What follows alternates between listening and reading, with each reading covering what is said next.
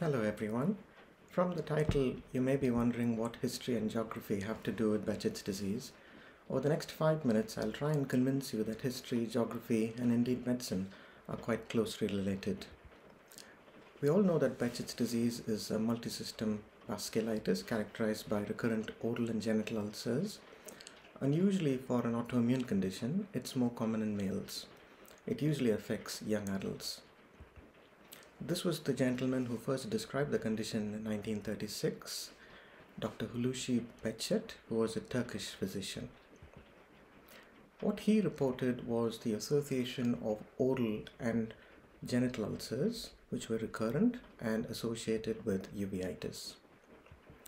Since his initial description, a variety of other manifestations have been recorded. There are now strict guidelines as to what manifestations should be present uh, as described by the International Study Group of Behçet's. Note that all the manifestations are clinical with no laboratory investigations. So going on to the etiopathogenesis of Behçet's disease, there are two main factors, genetic and environmental factors. Of the genetic factors, HLA-B51 is the most important. It seems to be predominant in those who have Behçet's disease, with 60% of patients having this allele. If you have this allele, you also seem to have a more severe form of the disease, as uveitis and central nervous system involvement is commoner. Secondly, there are infectious agents which have been postulated. We know it's not contagious, but infectious agents like Streptococcus sanguinis have been found in increasing concentrations in the mouth, and herpes simplex DNA has been found in the mononuclear cells of those with Behçet's. Let's go on to the history and geography. Why do we need to know history? As Winston Churchill once said, the farther back you can look, the farther forward you can see. We need to go back 5000 years to the birth of silk. This is the cocoon of the silkworm, otherwise called Bombyx mori. The silkworm feeds only on the white mulberry plant. And this combination of the silkworm with the white mulberry plant was found exclusively in northwest China.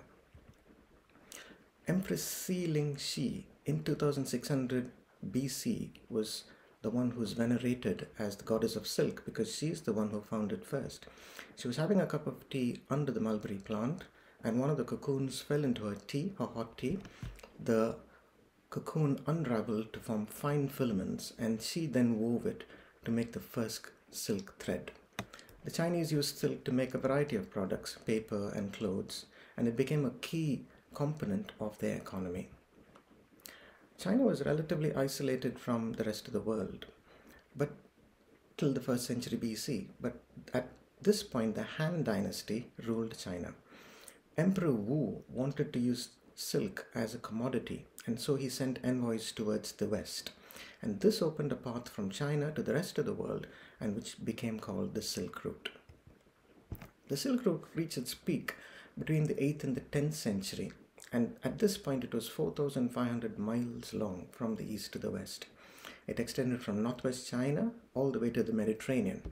It was the information superhighway of its time, and not only commerce but ideas were also exchanged.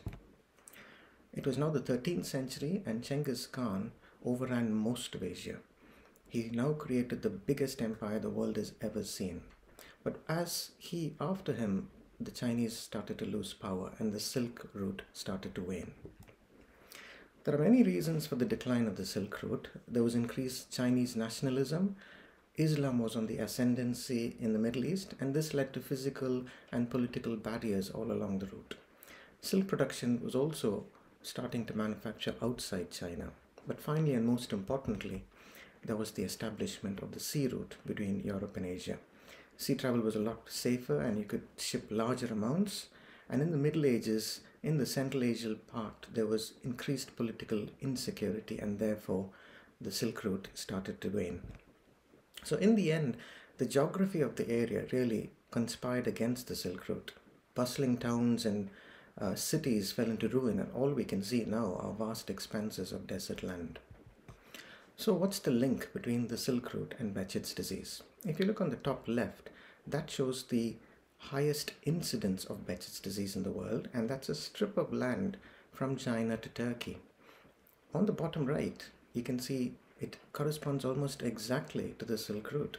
So is this a coincidence or can we explain it scientifically? For this, we need to go back to the etiopathogenesis. We mentioned two main factors, infectious agents and HLA-B51. So let's assume that Behçet's disease has an infectious etiology or prop is propagated by or the immunology is propagated by the infectious agent. Just like the plague came from Europe into Asia in the Middle Ages, and unknown infectious agents may be predisposing these people to get Behçet's disease in this particular area. If there are other factors which are also conducive to the development of this disease. Secondly, genetic factors. If you look at the population with the highest HLA-B51 concentration, it again is in exactly the same strip of land between China and Turkey. So again, it could be hypothesized that this area was occupied by people with a higher incidence of HLA-B51 and that was propagated through the generations, making it an increased susceptibility and a risk factor if other environmental factors and immunological factors were conducive to the development of the disease. So you can see that Behçet's disease etiopathogenesis is like a giant jigsaw puzzle. And we can solve the jigsaw puzzle only if we have knowledge of the history and geography. So I'd like to end with words of wisdom from William Osler. He said, by the historical methods alone can many of the integral problems of medicine be profitably approached. If you have any comments or would like to share any doubts, please do post them down and I'll try and respond to them as soon as possible. Thank you.